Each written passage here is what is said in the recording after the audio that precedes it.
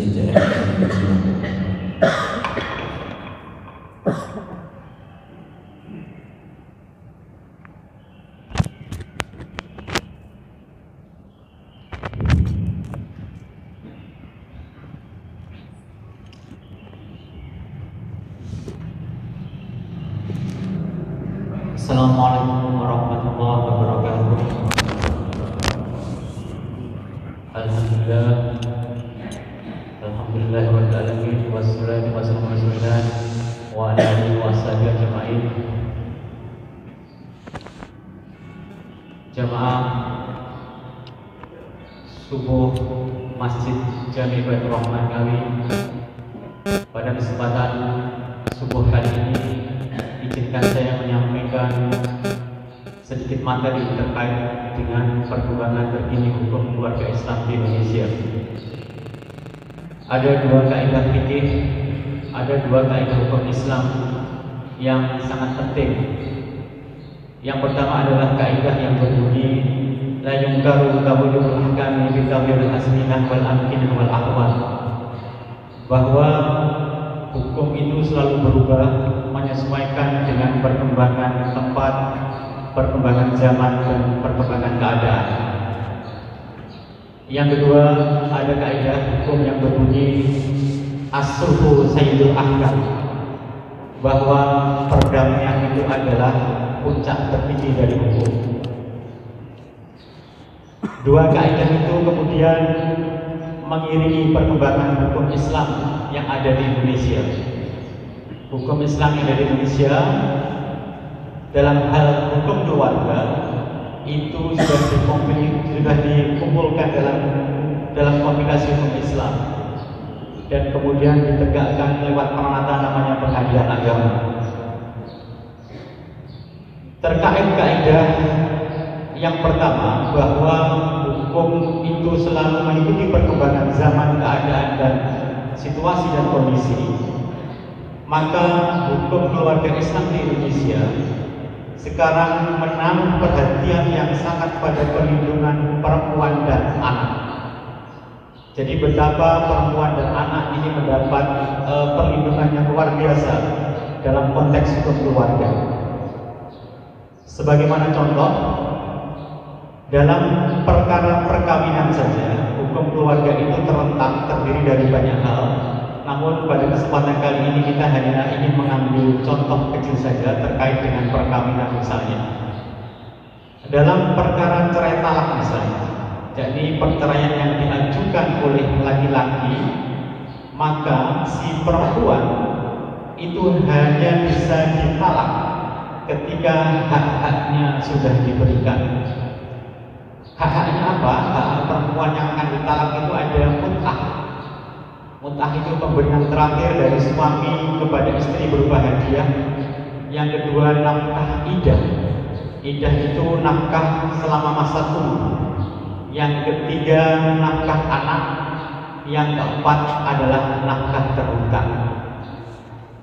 Jadi ketika sidang putusan di mana misalkan hakim mengabulkan permohonan talak dari si suami, si suami tidak akan diizinkan untuk mentalak istrinya sebelum membayar secara tunai mut'ah, idah, dan nafkah terhutangnya. Itu sebagaimana contoh.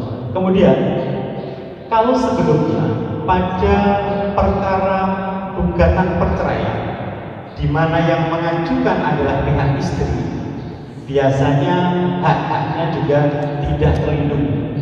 Namun sekarang hakim pengadilan agama sudah memegang teguh surat edaran Mahkamah Agung yang mengatakan bahwa pada bukan pada peristiwa ketika si istri menggugat cerai, maka hak-haknya juga bisa diberikan.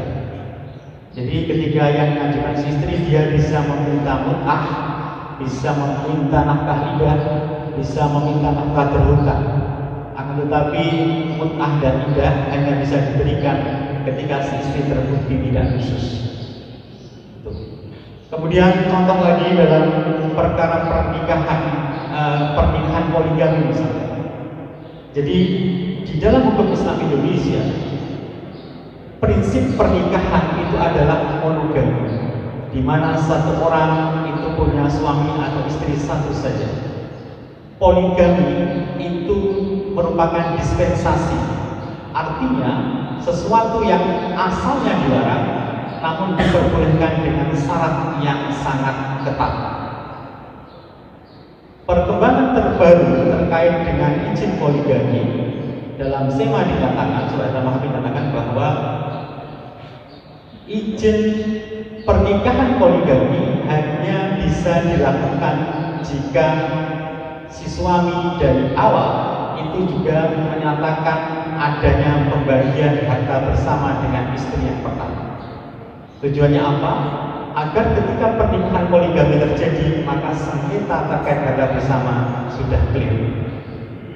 Itu perkembangan pertama terkait dengan hukum perkawinan.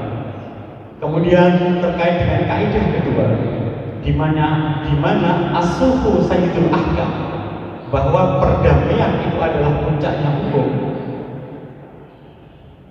Pengadilan Mahkamah Agung sudah mengeluarkan aturan bahwa setiap perkara perdata baik itu yang masuk di pengadilan umum maupun di pengadilan agama itu harus diselesaikan dengan mediasi terlebih dahulu.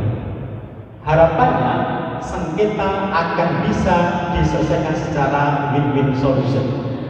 Jadi perkara perdata itu wajib dimediasi. Lantas bagaimana dengan perkara pidana?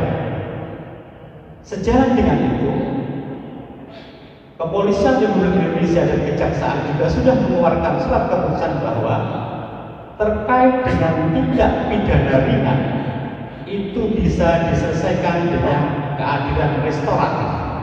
Artinya bisa lewat mediasi.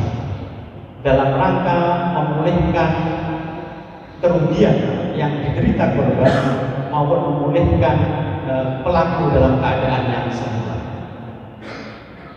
Dari sini dapat kita ketahui bahwa sesungguhnya hukum Islam yang ada di Indonesia itu sudah sedemikian rupa dijalankan, sudah sedemikian rupa disesuaikan dengan kaidah-kaidah fikih dan kaidah-kaidah yang berlaku dalam usul fikih.